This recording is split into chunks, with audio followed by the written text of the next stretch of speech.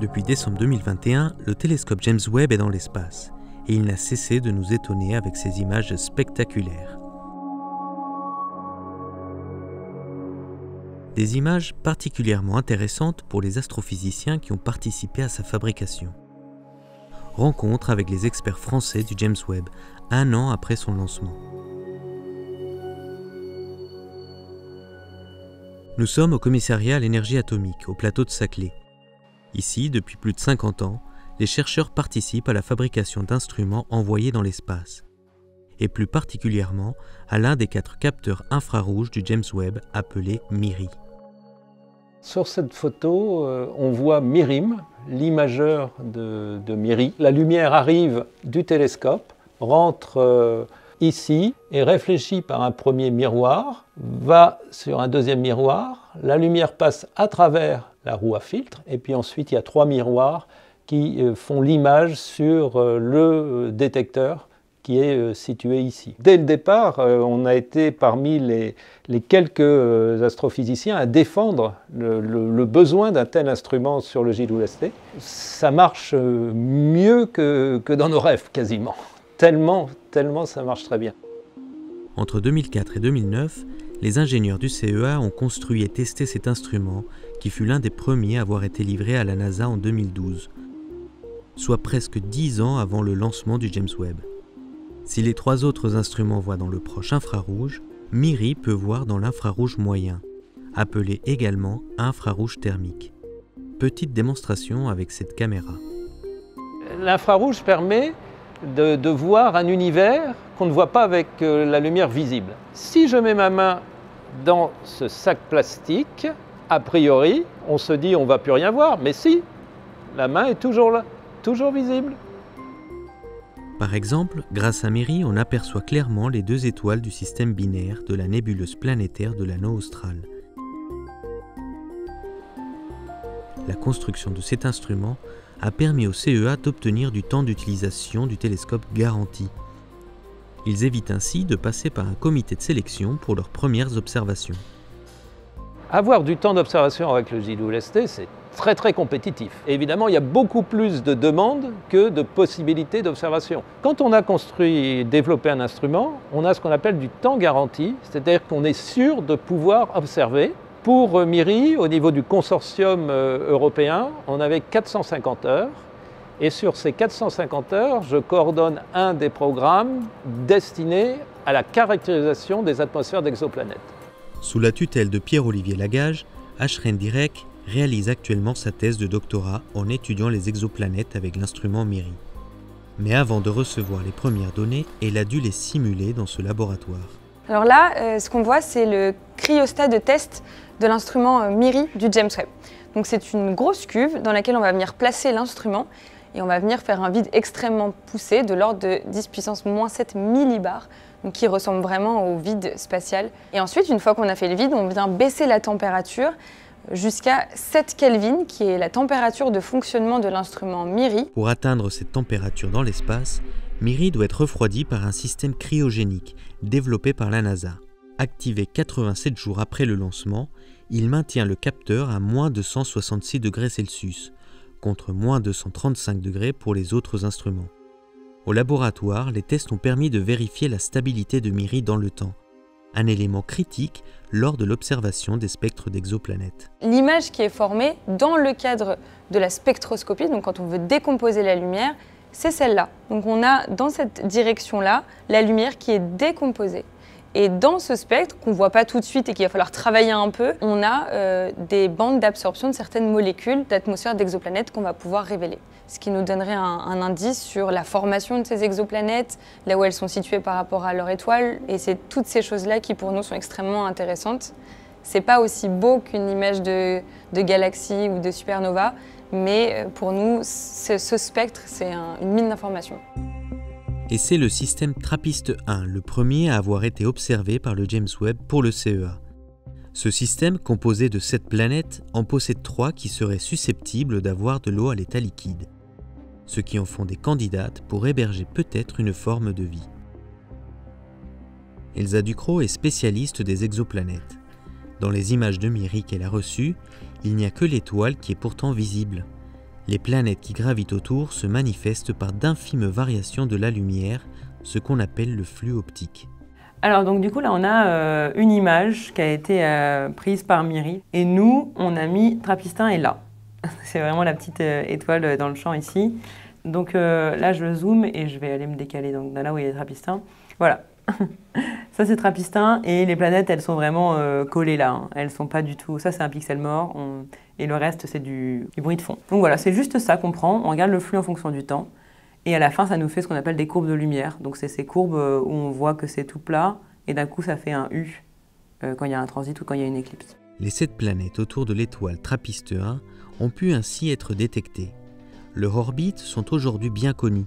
La plus proche effectue un tour complet de l'étoile en seulement 1,5 jours terrestres, et la plus lointaine en seulement 18,7 jours. Ces planètes sont en résonance orbitale. En attribuant une note musicale à chaque planète lorsqu'elle passe devant l'étoile, il est possible d'écouter l'harmonie du système Trappiste 1.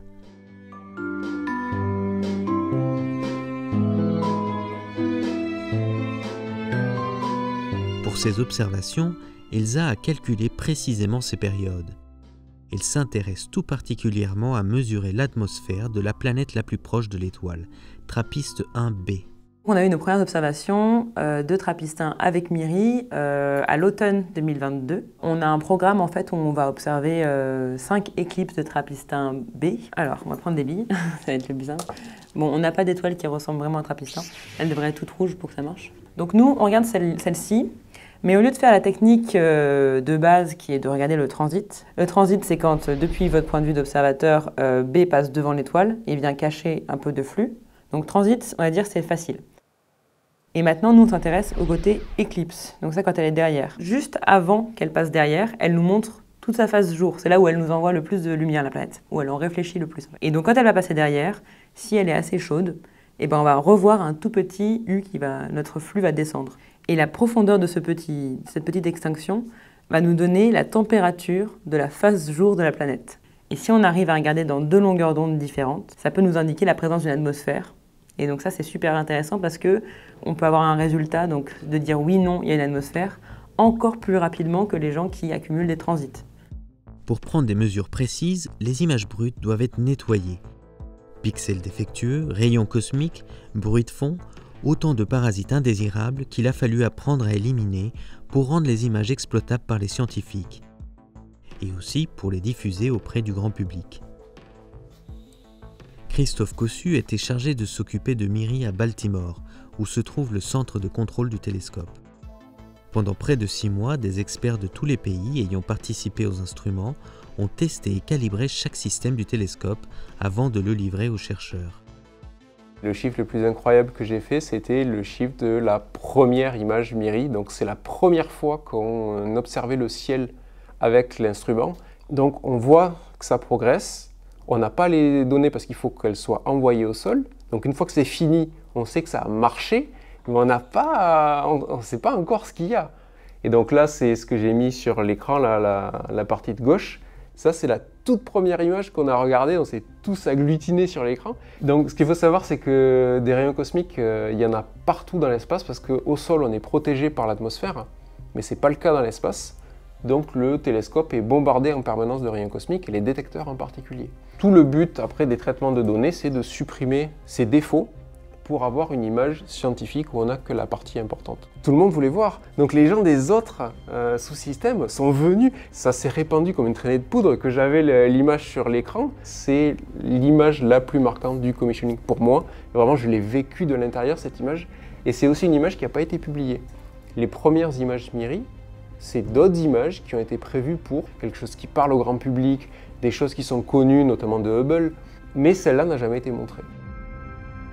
Dès les premières images de calibration et d'alignement des miroirs, James Webb dépasse toutes les attentes.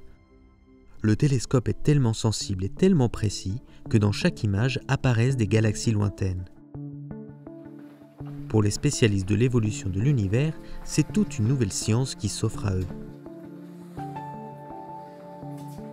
Donc ça, c'est une image d'un champ, du ciel qu'on peut regarder avec Spitzer euh, il y a une dizaine d'années. On voit des galaxies, donc ça c'est des galaxies lointaines. Et là maintenant, on va ouvrir les yeux du James Webb, on peut passer d'une science d'appel de blob, euh, euh, de quelques dizaines de galaxies ici, à euh, une, étude fine de milliers de galaxies dans la même image, euh, où on peut regarder euh, leur morphologie, on peut voir que ces deux galaxies, en fait, elles sont en forme de galaxies, il y a une spirale, et puis on voit que beaucoup de galaxies ont ces morphologies spirales, ce qui nous informe sur leur histoire de formation d'étoiles, est-ce qu'elles ont beaucoup de fusion de galaxies ou non, et on sait tout de suite qu'on va pouvoir comparer ça là avec les simulations, et voir si les simulations prédisent qu'il y ait autant de galaxies spirales très lointaines. Mais comment connaître la distance de ces galaxies? Et quel est le record de distance actuel? Pour ce faire, les astrophysiciens font appel à l'absorption de la lumière lorsqu'elle traverse les molécules d'hydrogène présentes dans l'espace intergalactique. Cet effet est connu sous le nom de la discontinuité de Lyman. Explication.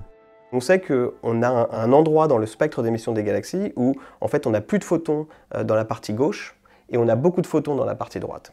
Et en fait, avec l'expansion de l'univers, ce spectre d'émission se décale vers le rouge, et donc plus une galaxie est à grand redshift, et plus cette marche sera dans l'infrarouge. Le décalage de la discontinuité de Lyman, appelé redshift, donne une mesure précise du temps que cette lumière a mis pour nous parvenir, et donc de la distance de la galaxie. On en trouve quatre, par exemple, ce sont des candidats. Et après, on va demander au James Webb d'aller pointer ces instruments spectroscopiques sur ces galaxies pour aller voir en détail cette marche, si est-ce qu'elle existe. Et lorsqu'on fait ça pour ces quatre galaxies candidates, on trouve qu'en effet, ces galaxies ont bien une marche euh, à, la longueur d'onde supposée, ce qui démontre que ces galaxies ne sont plus des candidats galaxies à grand redshift, mais ce sont des vraies galaxies à euh, à grand redshift. Et là, cette galaxie en particulier est actuellement celle qui est confirmée comme étant la plus lointaine c'est-à-dire qu'elle a un redshift qu'on appelle les astrophysiciens 13.2. Mais ce que ça veut dire, c'est que cette galaxie, on la voit comme elle était 400 millions d'années après le Big Bang. Remonter aux origines de l'univers, c'est bien la promesse du James Webb. Et aujourd'hui, les astrophysiciens peuvent pousser leurs outils à l'extrême pour voir pour la première fois des structures détaillées au cœur de ces galaxies très lointaines. Ce qu'on voit ici, c'est une galaxie qui remonte à 9 milliards d'années dans le passé elle a été magnifiée par une loupe représentée par la présence de matière entre la galaxie et nous qui fait un effet d'amplification de la lumière, c'est ce qu'on appelle une lentille gravitationnelle. Et ce que l'on voit et qui est le plus surprenant dans cette galaxie, ce sont tous ces petits points qui criblent la galaxie qu'on appelle la galaxie aux étincelles ce sont des amas d'étoiles d'environ 1-2 millions d'étoiles complètement concentrées dont l'âge est d'environ 5 milliards d'années. C'est-à-dire qu'ils remontent à une formation de quelques centaines de millions d'années après le Big Bang. Cela suggère qu'il est possible que les premières structures qui se sont formées sont des structures intermédiaires entre l'étoile et les galaxies, ces amas globulaires, qui sont peut-être même des toutes petites galaxies. C'est l'une des grandes questions qui émergent de ces observations. Pour affiner leur modèle, les chercheurs vont continuer à collecter des milliers d'images et de spectres afin de pouvoir tester la justesse des théories d'évolution de l'univers. Aujourd'hui, on est en train de mesurer avec la précision la plus fine l'âge, la masse, la forme des galaxies dans différentes époques de l'univers pour essayer de formuler le mieux possible le défi pour les simulations numériques à partir d'ordinateurs super puissants qui vont mettre dans la recette de la formation des galaxies toutes les lois qu'on connaît, essayer de reproduire ces images. Si elles y arrivent, c'est que nous avons compris la physique de base. Si elles n'y arrivent pas, c'est que la porte reste ouverte et que nous attendons de savoir qui va être le prochain invité dans nos théories. Grâce à sa sensibilité et à sa précision, le télescope James Webb a permis aux astrophysiciens de voir des galaxies complexes beaucoup plus tôt dans l'histoire de l'univers que ce qu'ils pensaient ils doivent à présent trouver un moyen pour expliquer ces observations. En un seulement d'exercice, le JWST bouscule déjà nos connaissances. Avec une durée de vie estimée à plus de 20 ans, son futur nous réserve bien des surprises.